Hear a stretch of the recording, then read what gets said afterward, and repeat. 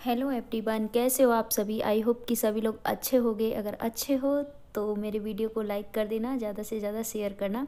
तो आज मैं जो वीडियो लेकर आई हूँ, वो कैराटीन ट्रीटमेंट और हेयर स्मूथनिंग के ऊपर है। तो ये हेयर स्मूथनिंग और कैराटीन ट्रीटमेंट है क्या? कुछ बालों में नेचुरली कैराटीन कम होता है। तो हमें पता कैसे चलेगा कि हमारे बालों में नेचुरली जो कैराटीन कम है, वो है कैसे, किस तरीके से हम उसको पता करेंगे? तो इसके लिए आपके बालों का जो टेक्सचर है, आपको दिखा देगा कि आपके बालों में प्रोटीन की कमी है। आपके बाल बहुत ज़्यादा फिजी फिजी लगेंगे और इनकी जो बिल्कुल रूट्स हैं, बिल्कुल ऐसे लगेंगे ढले ढले से फिजी फिजी बहुत ही ज़्यादा मतलब कि उस टाइप्स के लगेंगे। तो उसके क्या क्या फीचर्स होते हैं? आपके बाल बहुत ही ज़्यादा फिजी होते हैं और सेकेंड है, आपके बालों में मॉइस्चर नहीं है।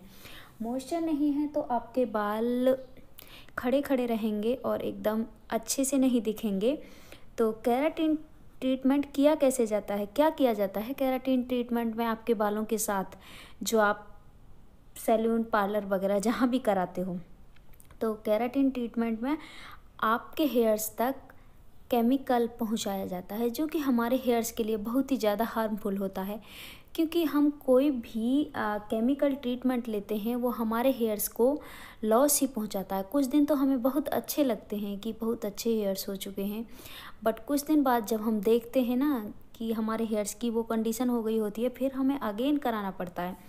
तो इसीलिए हमें करना क्या है कि हम होम पर ही इसे, घर पर ही कर सकते हैं और ज़ीरो बजट के साथ कर सकते हैं। इससे हमारे हेयर्स को कोई लॉस भी नहीं होगा।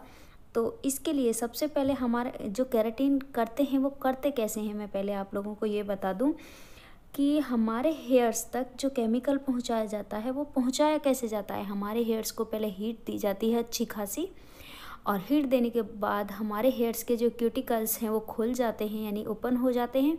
ओपन होने के बाद हमारे बालों में प्रोटीन यानी कि कैरेटीन पहुँचाया जाता है और फिर कुछ टाइम बाद ही वो जब तक गर्म रहते हैं, तब तक खुल, खुले हुए रहते हैं, उसके बाद ही फिर ऑटोमेटिकली ही वो क्लोज हो जाते हैं।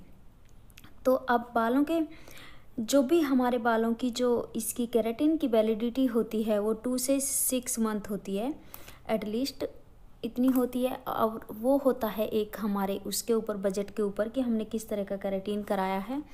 तो उसी के अकॉर्डिंग वो होगी। तो हमें इस चीज़ का बहुत ज़्यादा ध्यान रखना है कि हमें अपने हेयर्स को लॉस नहीं करना है। जैसे भी हेयर्स हैं, बिल्कुल भी हीट तो देनी नहीं है। आप लोग जानते ही हो कि हीट हमारे हेयर्स के लिए कितनी ज़्यादा, बहुत ही ज़्यादा लॉस पहुंचाती है। तो इसके लिए ना हमें करना क्या है कि हम अपने घर पर ही अपने हेयर्स के साथ कैराटीन ट्रीटमेंट कर सकते हैं। हमें कहीं भी जाने की ज़रूरत नहीं है। और इससे पहले मैंने एक और वीडियो डाला है। तो यहाँ पर सबसे पहले चलो मैं आपको बाद में बताती हूँ। थ्री टेबल स्पून के करीब आपको राइस लेने हैं, जो कि बॉइल्ड राइस हैं मेरे। रात के बचे हुए हैं। आप अपने हेयर्स की लेंथ के अकॉर्डिंग ले सकते हो। तो मैंने यहाँ पर, फिर अब मैं यहाँ पर रॉ मिल्क ले रही हूँ। मेरे पास रॉ मिल्क है, आप कोकोनट मिल्क भी ले सकते हो। सभी के पास अवेलेबल नहीं होगा coconut milk I know but मेरे पास रॉ मिल्क था तो मैंने वही ले लिया है। अब मैं इनको अच्छे से मिक्सी जार में डाल करके पीस लिया देखिए कितना स्मूथ पेस्ट बना है इसका। अब इसमें मुझे क्या करना है? दो इसमें डालने हैं विटामिन ई के कैप्सूल विटामिन ई के कैप्सूल ऑप्शनल हैं, आप डाल भी सकते हो, नहीं भी डाल सकते हो। वैसे डाल ही लीजिएगा, घर पर सभी के पड़े हुए होते हैं, क्योंकि ज़्यादातर लोग यूज़ करते हैं आजकल होम रेमेडीज़ के लिए तो आपको ये करना है। दोनों कैप्सूल को डाल लेना है और उसके बाद आपको डालना है कोकोनट ऑयल मेरे पास यहाँ पर कोकोनट मिल्क नहीं था तो मैंने कोकोनट ऑयल डाल लिया है। तो अब मुझे आ, मिक्स कर लेना है। तो आपके पास अगर कोकोनट मिल्क है तो आपको ऑयल डालने की ज़रूरत नहीं है। फिर आप कोई भी ऑयल यूज़ कर सकते हो। कैस्टर ऑयल भी यूज़ कर सकते हो। कैस्टर ऑयल वैसे हेयर्स की ग्रोथ वगैरह के लिए सही रहता है। हेयर स्मूथनिंग में कोकोनट ऑयल यूज़ होता है ज़्यादातर।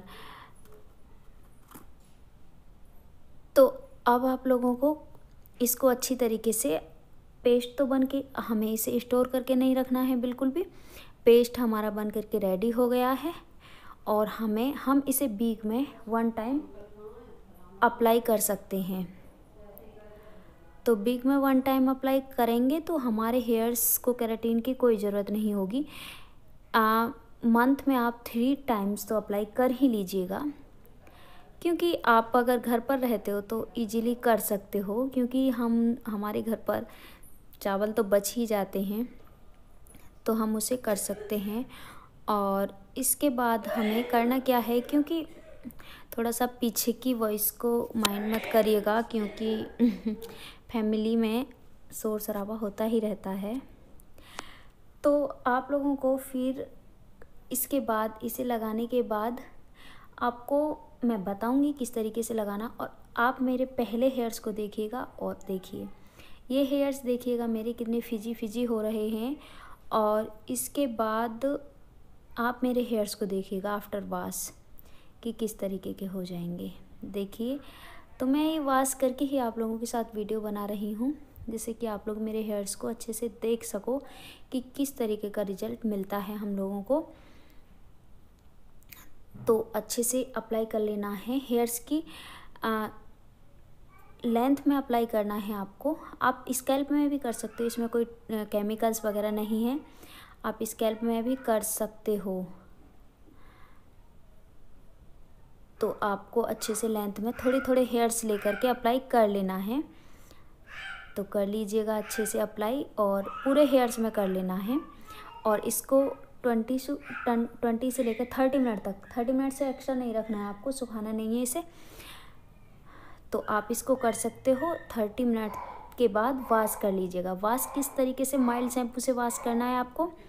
क्योंकि आ, हमने जो भी अपने हेयर्स को प्रोटीन दिया है अगर हम इजीली इसे वैसे ही कर देंगे तो वो धुल जाएगा। तो हमें माइल्ड शैम्पू से वाश करना है या फिर जितना शैम्पू आप यूज़ करते हो उसका आधा, आधी क्वांटिटी में आप यूज़ करके वाश कर लीजिएगा। उससे क्या होगा कि फ़र्स्ट वाश में आपके हेयर्स जैसे मेरे दिखाई दे रहे हैं, उस तरीके के हो जाएँगे। अगर सेकंड वाश जब भी करोगे आप one day after one day या टू डे तो उसके बाद आपके हेयर्स को देखना तुम। इतने ज़्यादा अच्छे हो जाएँगे कि आपको पता ही नहीं चलेगा आपके सर पर हेयर्स भी हैं तो आप इस तरीके से भी आप इससे कर सकते हो। तो मेरा वीडियो अच्छा लगे तो ज़्यादा से ज़्यादा शेयर कर, करना। बाय बाय मिलती हूँ नेक्स्ट वीडियो के साथ।